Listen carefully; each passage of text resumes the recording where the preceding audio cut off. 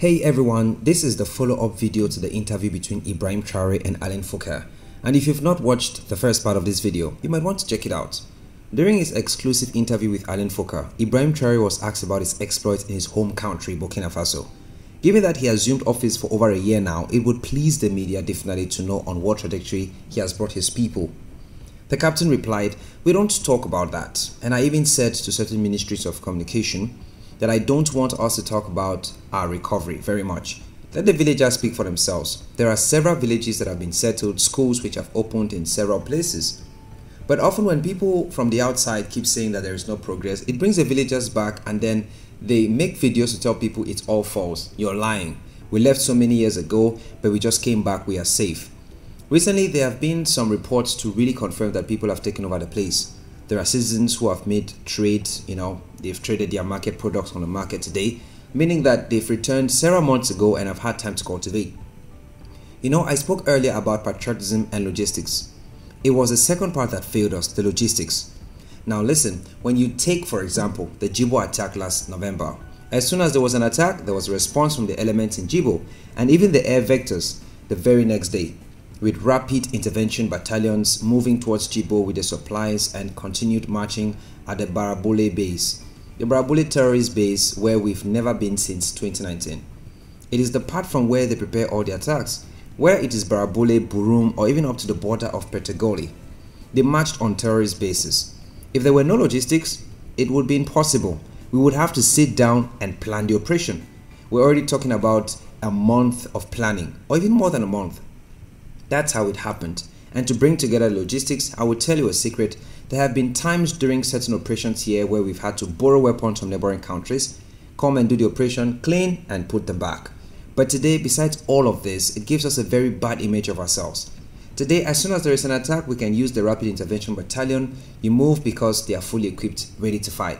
We don't have a single second to lose, so immediately they take off and rush into battle. This is how it happens now. There are several of them that are equipped which are positioned all over the country. Ibrahim Traore also explained as the interview went on that he did not only intend to break free from the ECOWAS but completely liberate Burkina Faso from every chain of slavery. When asked about his desire to also change the franc CFA currency, he said, let things happen. You know, in everything we do, you were surprised, right? Well, many more things will surprise you, Ibrahim Traore said. It's not just the currency, Everything that is linked which keeps us in slavery, we will break free from these bonds. It is clear and inspiring that Ibrahim Traore speaks not only for himself but echoes the voices of the Sahel states such as Mali, Niger, which this responds to the current currency in use in Central and some other parts of West Africa. As reported by Reuters.com, the collective actions of the states having already expelled French troops and scaled back a United Nations mission in Mali underscore their unwavering commitment to prioritizing sovereignty over convenience. Their stance regarding the euro-pegged CFA francs mirrors this sentiment, although economists and analysts caution that the decision to abandon the currency would entail greater risk and complexities compared to withdrawing from ECOWAS. In a significant development last November, the finance ministers of Burkina Faso, Mali, and Niger announced their intention to explore the possibility of establishing a monetary union, signaling a potential shift away from the CFA franc. Moreover, high ranking officials from these countries have even expressed varying degrees of support for relinquishing the currency. It's like Africa is uniting again under Ibrahim Traore, at least the Sahel region. Abdourahamane Tiani, the leader of the Niger junta, emphasized in a recent interview on state television that discarding the CFA franc will symbolize a crucial assertion of sovereignty and a vital step towards breaking free from French colonization. However, let's be clear, transitioning away from the CFA francs entails far more than mere currency substitution or some inspiring talks. The establishment of a new central bank would necessitate navigating a complex process, including formulating monetary policies, addressing over $4.6 billion in outstanding CFA denominated regional bonds, and managing the intricacies of a delicate economic transition.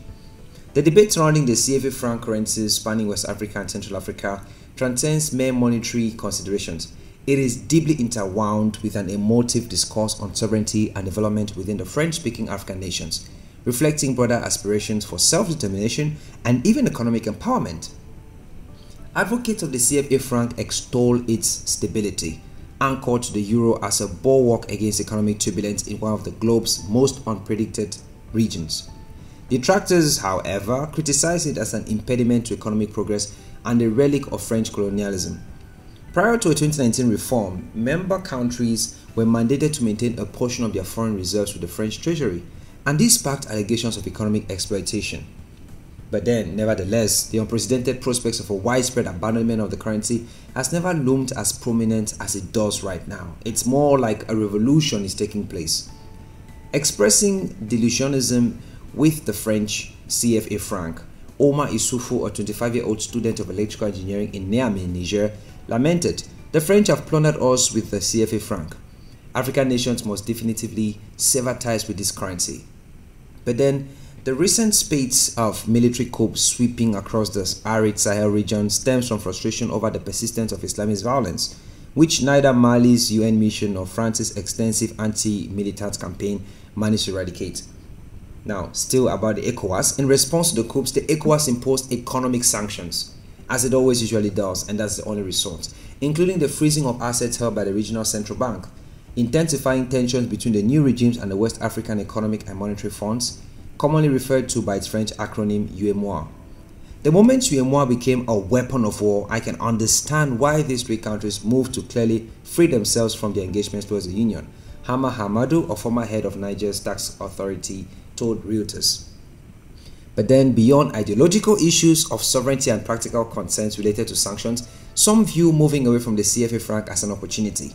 And frankly, I think it is. The CFA franc has been very detrimental to these countries over the long run, said Ndongo Samba Sylla from the International Development Economics Associates, a network of economists focused on the global south. They have lower inflation and extra exchange rate stability, but they've suffered from an overvalued currency. All three nations boast predominantly agricultural economies, let's be frank. But you see, their lack of autonomy is setting monetary policies has actually resulted in their exports being uncompetitive and has impeded their industrial advancement, according to experts. Moreover, maintaining a fixed exchange rate with the euro seems incongruous, especially considering that the majority of West Africa's external trade is conducted in dollars. Exiting ECOWAS is already appearing to be a formidable challenge, and then how much more rivaling with the CFA franc. Unraveling the economies and disentangling their finances from the West African Economic Monetary Fund would be an even more intricate endeavor. Under the UEMOA, the eight member states deposit their foreign exchange reserves with the regional central bank in Dakar, Senegal. These reserves are pooled together along with the liabilities, complicating the determination of each country's share in the event of withdrawal. Another critical issue that we should honestly face is the substantial amount of debt denominated in CFA francs. Burkina Faso, for instance, has outstanding bonds totaling over 1.2 trillion CFA francs. That's to the tune of $1.99 billion. That's much money. Mali and Niger also have significant amount of CFA denominated debt. Expressing concerns about the potential ramifications of withdrawal, a financial expert involved in regional debt issuances emphasized the likelihood of encountering turbulence. He did point out the lack of clarity regarding the listing of bonds, the currency in which they move and would be denominated, and whether the new currency would be convertible at all. There would be a lot of problems for the holders of these sovereign bonds, he said. According to experts, the turmoil resulting from the withdrawal would likely isolate the three states from future financing opportunities in both regional and international capital markets. Burkina Faso's decision to cancel a bond auction following its announcement of exiting or exiting the ECOWAS reflects the lack of investor interest. The prevailing uncertainty would eventually trigger capital flights and prompt an immediate devaluation of a new currency. That's for sure. This scenario could render imports excessively costly, thereby exacerbating inflationary pressures. Charlie Robertson, head of macro strategy at FIM Partners in London, expressed concerns about the potential economic repercussions. He did estimate that withdrawing from the single currency would dent the GDP of the countries by 10 to 20%, like likening the situation to the onset of the Great Depression. Robertson also emphasized that such a move would represent the gravest policy error the countries would ever commit how true that is is still on a scale of 1 to 10, probably 4 to 6. It's on a balance. Given the substantial risk involved, the junta leaders are approaching the currency issue with caution compared to their stance on ECOWAS withdrawal. I think they are more likely to withdraw from ECOWAS than withdraw from the CFA franc. According to two governmental officials, the committee tasked with studying a new monetary union, although still on the agenda, has yet to convene.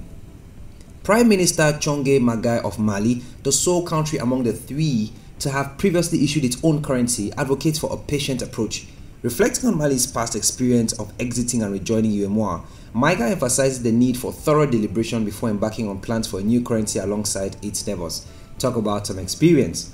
Addressing business leaders, Maïga stressed the importance of strategic decision making and urged Malians to consider the long term implications of such a move.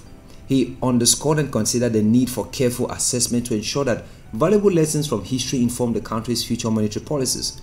Ibrahim Traore's final words were clear about withdrawal from the ECOWAS, a move that will see no backsliding, that is for sure. That brings us to the end of this video. Tell us what you think about this video in the comment section and the best comments will of course be pinned. Please do not forget to like, subscribe to our channel and also turn on notifications. See you in the next one.